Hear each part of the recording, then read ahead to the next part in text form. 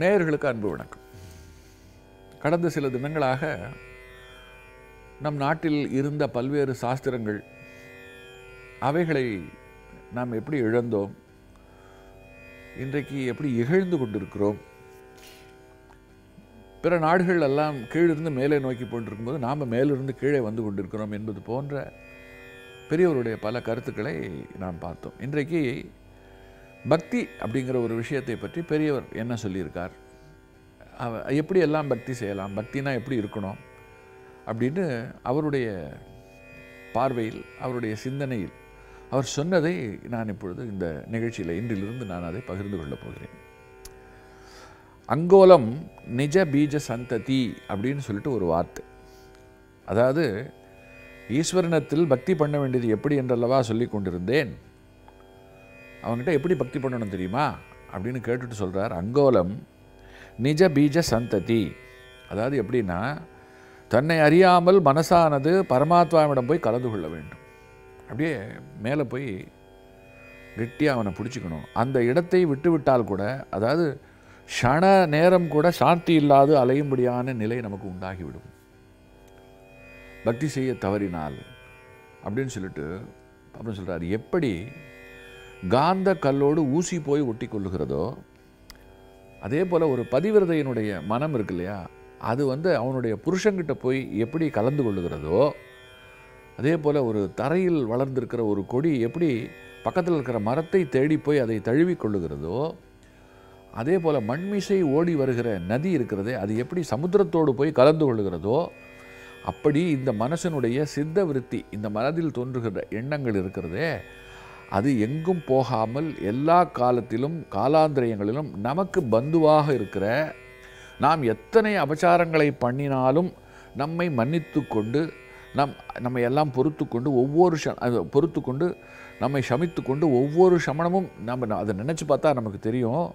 நம்முடைய அபச்சாரங்களையும் நினைத்து பார்த்து நமக்கு ஈஸ்வரன் செய்யும் உபகாரங்களையும் நினைத்து பார்த்து நினைத்து பார்த்தால் அவனை தவிர வேறு எதையுமே நினைக்க வேண்டாம் என்று நமக்கு தோன்றும். இந்த உலகத்தில் நாம் வந்து எவ்வளோ தப்பு பண்ணுறோம் நிறைய தெரிந்தும் தெரியாமலும் நிறையா செய்கிறோம் இருந்தாலும் நாம் சாப்பிட்றதுக்கு உணவு சுவாசிக்க காற்று தாகம் குடிப்பதற்கு தண்ணீர் உடைக்கு உடை அதாவது அணிந்து கொள்வதற்கு உடை. மொத்தத்தில் நமக்கு தேவையான எல்லாவற்றையும் ஒரு சக்தி கொடுக்குறது. அதை நாம் பரம்பொருள் ஈஸ்வரன் அப்படின்னு நாம் சொல்கிறோம் அப்போ இப்போ என்ன தோணணும் தெரியுமா? நான் ரொம்ப குற்றம் குறையுமானவன். நான் வந்து ஒன்றும் சரியாக வாழலை. இருந்தாலும் எனக்கு என்னுடைய குற்றங்களை பார்க்காமல் இதெல்லாம் எனக்கு இந்த உலகத்தில் அந்த ஈஸ்வரன் கொடுத்துருக்கிறான். அப்போ அவன் எவ்வளவு மேலானவன்? அப்படி சொல்கிறார் அதனால் அதை நாம் நினச்சி பார்க்கணும்.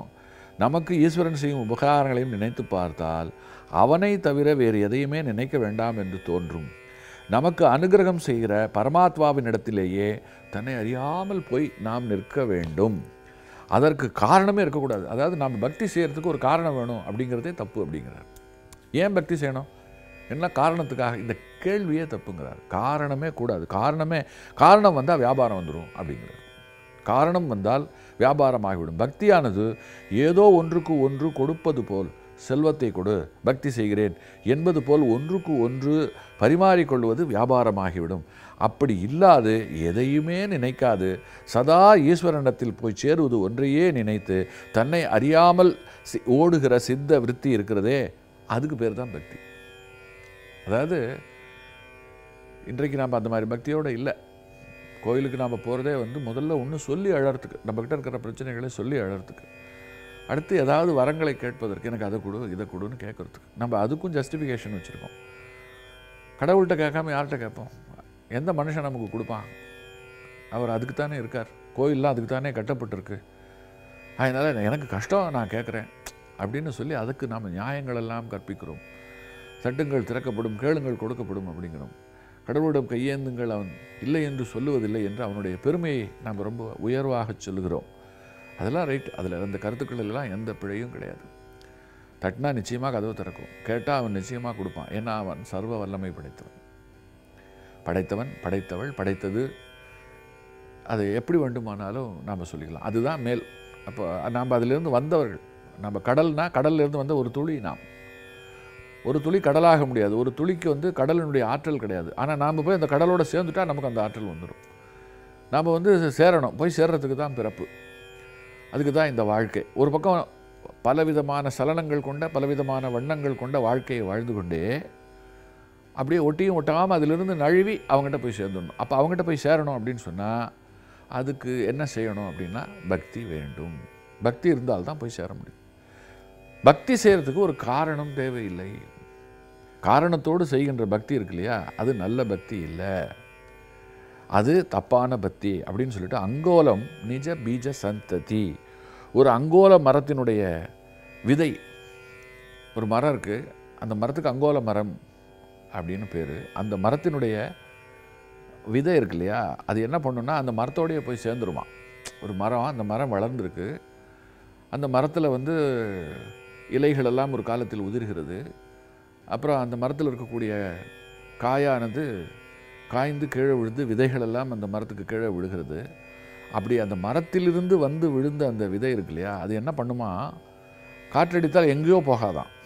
அது வந்து அந்த மரத்தண்டு இருக்குல்ல அதை நோக்கி தான் போகுமா? போய் அந்த மரத்தண்டோட போய் முதல்ல ஒட்டுமா? அப்புறம் அந்த மரத்தண்டாகவே மாறி மரத்தோடு மரமாகவே அது ஆகிவிடுமா? அதைத்தான் சொல்கிறார் அங்கோல மரத்தினுடைய விதை இருக்கிறதே அது மரத்தோடு போய் சேர்ந்து விடுகிறது. எப்படியோ மரத்திலிருந்து கீழே விழுந்தவுடன் மெல்ல மரத்தினிடத்தில் செல்லுகிறது. மேலே ஏறுகிறது பட்டையோடு ஒட்டி கொள்ளுகிறது அப்புறம் கொஞ்ச நாளில் அப்படியே மரமாக போய் விடுகிறது எப்படி அந்த மரத்திலிருந்து உண்டான விதை அந்த மரத்தோடையே சேர்ந்து திரும்பியும் மரத்தில் ஐக்கியமாகி விடுகிறதோ அந்த மாதிரி பரமாத்மாவினிடத்திலிருந்து தோன்றுகிற ஜீவாத்மாக்களை முடிவில் பரமாத்மாவோடையே கலக்கச் செய்வதுதான் பக்தி. இன்னொரு திருஷ்டாந்தம் கூட சொல்லுவது உண்டு. அக்னியின் ஸ்புலிங்கங்கள் போல் என்பார்கள். நெருப்பு எரிகிற போது ஒரு பொறி அங்கே இருந்து தெரித்து வந்தாலும் தெரித்து வந்ததும் எப்படி அதோடைய ஐக்கியமாகி விடுகிறதோ என்று திருஷ்டாந்தம். அந்த அந்த தீப்பொறி எப்படி அது கூடயே போய் திரும்ப ஐக்கியமாகி விடுகிறதோ அதே போல அப்புறம் சொல்கிறார் ஒரு சமுத்திரத்தில் முதலில் அலை உண்டாகிறது அப்புறம் ஒரு நுரை உண்டாகிறது அப்புறம் ஒரு குமிழ் உண்டாகிறது. முடிவில் அந்த அலை நுரை குமிழ் எல்லாம் என்ன ஆகின்றன? சமுத்திரத்தினோடையே ஐக்கியமாகி விடுகின்றன. ஒரு காற்று ஒரு அசைவு ஏற்படுகிற போது அலை நுரை குமிழ் உண்டாவது போல் பரமாத்மா ஸ்வரூபத்திலிருந்து ஜீவாத்மாக்கள் நாம் தோன்றினாலும் திரும்ப ஒரு காற்று அடிக்கும்போது அலை நுரை குமிழ் எல்லாம் சமுத்திரத்தோடு ஐக்கியமாகி விடுவதைப் போல கொஞ்சம் நல்ல காற்று ஆச்சாரியருடைய கடாட்சம் அடித்தால் ஜீவாத்மாக்கள் சாக்ஷாத் பரமாத்மா ஸ்வரூபத்தோடையே கலந்து விடுகின்றன. உன்னுடைய ஸ்வரூபமே ஆகிவிடுகிறது. அப் இதுக்கு இதுதான் இதுதான் திருஷ்டாந்தம் என்று சொல்லுவர் அப்படிங்கிறார். இதே மாதிரி தான் நதி தீப்பொறி என்று சொல்கிற திருஷ்டாந்தமும் நதி மாத்திரம் எங்கே இருந்து வந்தது? கங்கை காவேரி என்று தனித்தனியே பெயர் அதுக்கு இருக்கலாம். ஆனால் எல்லாம் சமுத்திரத்திலிருந்து தான் உண்டாகின்றன. லோகத்தில் சிருஷ்டி காலத்தில் எத்தனை காலம் ஜலம் இருந்ததோ அதில் இம்மி கூட அதாவது துளி கூட அது குறைவதில்லை. இது ஒரு அற்புதமான ஒரு விஷயத்தை சொல்ல வர்றார். எப்படின்னா வந்து பருவங்கள் மாறிக்கொண்டே இருக்கின்றன. வெயில் காலம் மழைக்காலம் குளிர்காலம் பனிக்காலம் அப்படின்னு. ஒரு ஏரியில் வந்து மழைக்காலத்தில் நிறைய தண்ணி இருக்குது வெய்ய காலத்தில் பார்த்தா அது அப்படியே வறண்ட அந்த தண்ணீர் இல்லாமல் இருக்கிறது. இதெல்லாம் நாம் நம்ம வாழ்க்கையில் அன்றாடம் பார்க்கிற ஒரு விஷயங்கள். அதைத்தான் அவர் சொல்கிறார் மழைக்காலத்தில் சில சில இடங்களில் ஒரு வெள்ளக்காடாகிவிட்டது என்பர். அப்போ இப்படி தண்ணீர் இல்லை என்பதற்காக ஒரே அதாவது ரொம்ப மழை பெஞ்சால் ஒரே வெள்ளம் இல்லைன்னா தண்ணீர் இல்லை.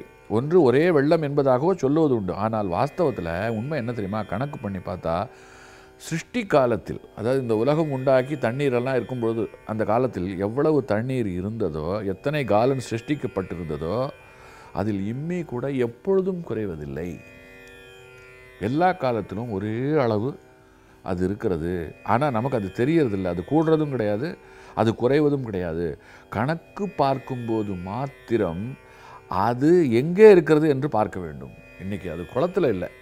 வத்தி இன்றைக்கி வெய்ய காலத்தில் அது குளத்தில் இல்லை. ஆனால் அது மேகமாக மேலே இருக்கிறது. அது அது தெரிஞ்சுக்கணும்.